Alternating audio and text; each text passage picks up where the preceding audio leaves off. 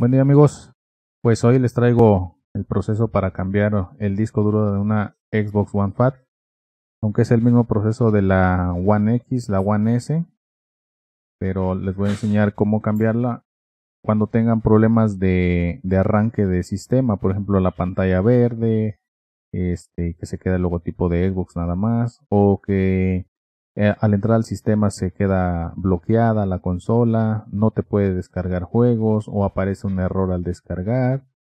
Todo ese tipo de fallas en el sistema son causadas por el disco duro. Entonces, ahorita vamos a cambiarla a esa consola que, que sí prende, sí inicia todo, pero se queda en pantalla con el logotipo de Xbox en la pantalla verde.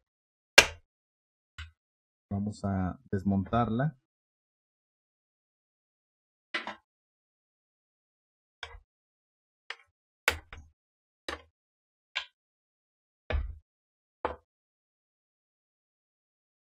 Para cambiar el disco duro de estas consolas es necesario utilizar algunos discos ahora sí que especiales para no tener ningún tipo de problemas. Se supone que cualquier disco duro debe de funcionar con, con la consola, pero por mi experiencia los que menos me dan trabajo este Western Digital, los Seagate Mobile y en algunas ocasiones los Samsung. Ahorita voy a utilizar este Samsung para reemplazar el disco duro que esta consola tiene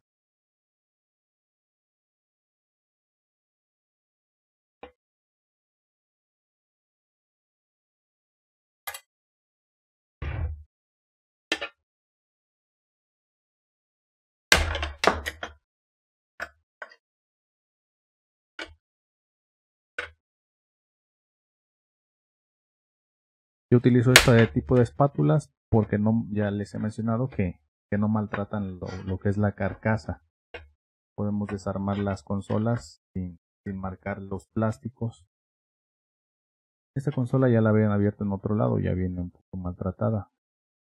También ya la han traído conmigo, pero pues no fui yo el que, el que dañó la, la carcasa.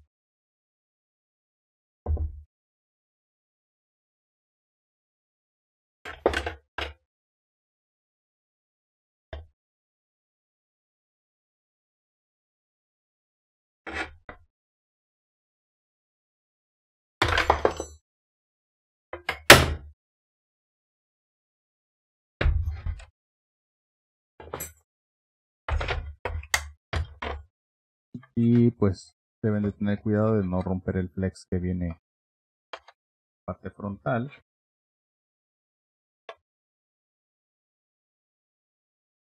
Vamos a estar con cuidado. Haré un video especial de cómo desarmarlo paso a paso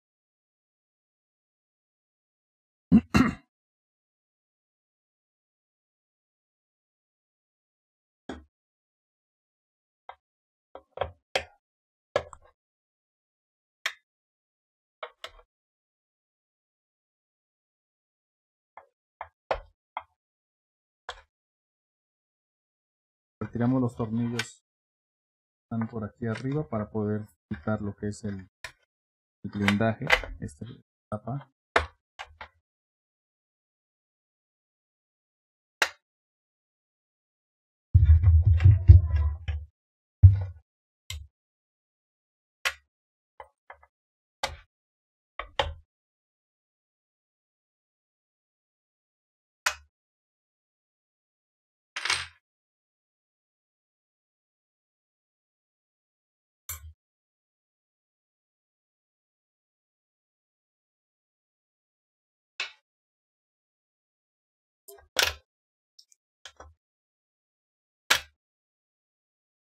lo que es esto que es el módulo inalámbrico.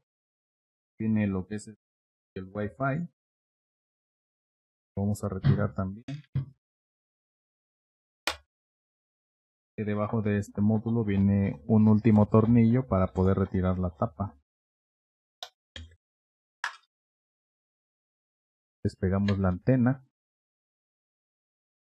Desconectamos la bocina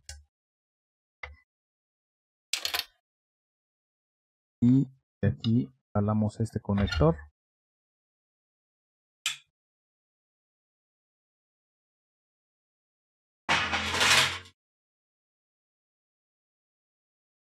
Ok, vamos, aquí está el disco duro, este es el que vamos a cambiar, es un Samsung también. Generalmente los OnePad traen un, un, tele, un, tele, perdón, un disco duro Samsung. Vamos a vamos a cambiarlo. Nosotros ya aquí tenemos conectado nuestro disco duro al cual le vamos a dar formato. Ahorita vamos a pasar a la pantalla de la computadora para que vean el proceso del del formato al disco duro.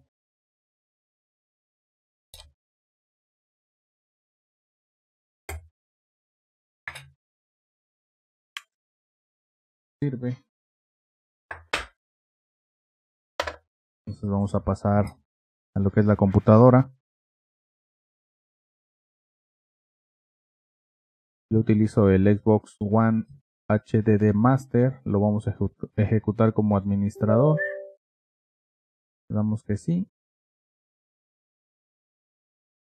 Ahí está revisando ahí le presionamos cualquier tecla seleccionamos la primera opción. Aquí nos pide seleccionar el disco duro seleccionamos el número 1 aquí le ponemos la Y de Yes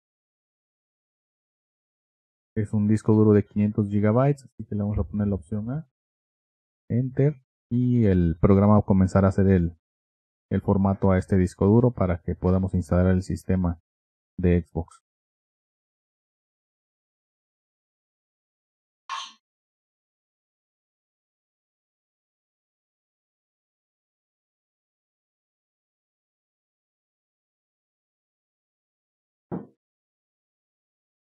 Aquí estas, ignoren estas ventanas, las vamos a cerrar al final.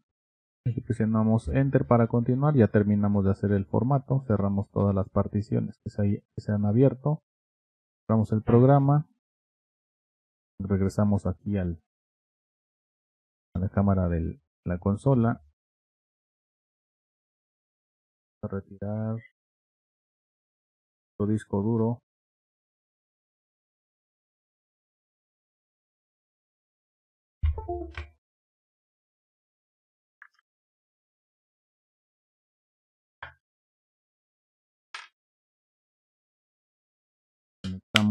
Nuevamente.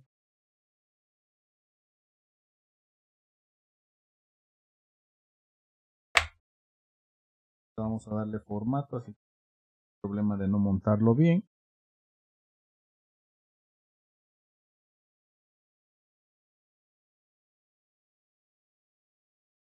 conectar este, el HDMI fuente de nuestra consola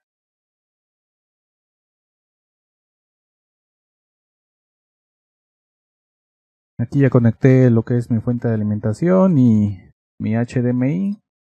Vamos a encenderla. Normalmente se tiene que iniciar, o muchos lo hacen iniciando Power y el botón de sincronización durante 15 segundos hasta escuchar el segundo pitido y entra al modo de recuperación de la consola o al modo de servicio, no sé cómo le quieran llamar. Yo lo que voy a hacer es solamente encender la consola y muchas veces inicia automáticamente en solita.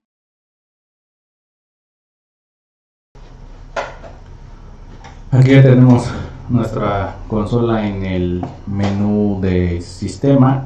Nos está arrojando que es un error E106. Esto debido a que el disco duro que conectamos no contiene ningún sistema.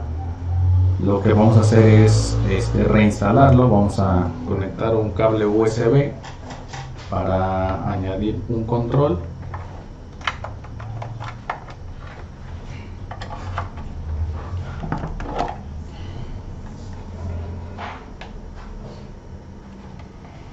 ya que como no tenemos conectado el módulo inalámbrico no nos va a permitir sincronizar ningún control. Aquí vamos a poner la segunda opción que es solución de problemas. Y vamos a colocar un disco duro o una unidad USB que contenga el archivo de sistema del, del Xbox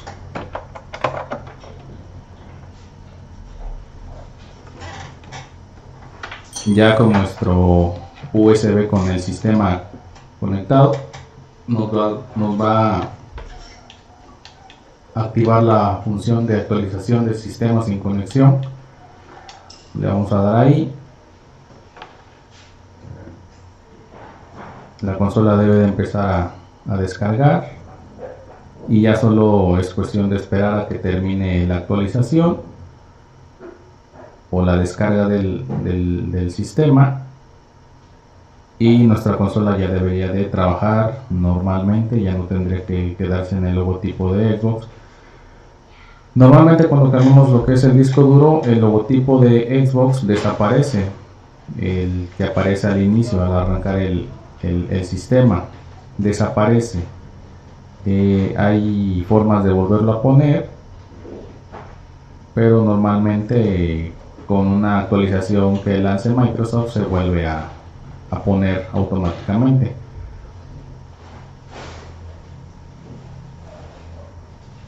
Voy a pausar el video para que no estemos solamente esperando a que termine la actualización y una vez que ya vaya a finalizar vuelvo a, a, poner el, el video.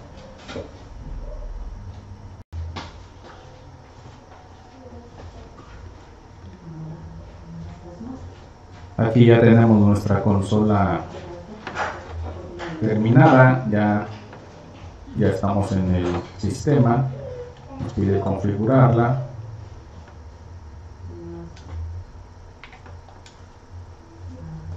y lo único que tenemos que hacer pues ya es este, armar esta consola y nuevamente entregársela a nuestro cliente aquí nuestra consola ya nos pide una actualización le hemos conectado el cable de, de internet para ya entregar la consola de nuestro cliente funcionando Ahora debemos esperar solamente un momento más para que descargue 660 y tantos megas.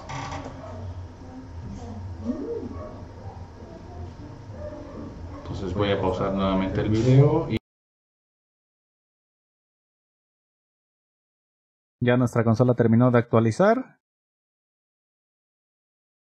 Ya y nos pide iniciar con una cuenta Microsoft, lo cual ya el cliente lo tiene que hacer, ya tiene que configurar su cuenta, todo, etcétera. Esta consola va como cuando la compran de nuevo. Entonces, eh, eso sería todo. Ya nuestra consola eh, o cualquier consola que ustedes tengan con fallas de sistema, errores de sistema, este, crasheos, fallas de descarga, lo solucionan simplemente con cambiar el disco duro. Eh, tengan cuidado de los lugares a donde los llevan porque formateando el disco duro puede volver a trabajar su consola, pero les va a ocasionar problemas a futuro. O sea, hagan cuenta que lo llevan a reparar, no ven ustedes o no se cercioran de que les cambien el disco duro, van a formatearlo. Si este todavía no está tan dañado, y pues van a hacer que su consola trabaje. El problema es que como al mes, a los 15 días, no hay un tiempo específico, pero la consola les va a volver a fallar o va a estar trabajando de manera errónea, va a estar lenta. ¿sí? Entonces, eh, preferiblemente que, ustedes se, se cercioren de que les cambien el disco duro. Entonces, Así es como cambiamos el disco duro de una consola Xbox One Fat y pues nos vemos en un siguiente video.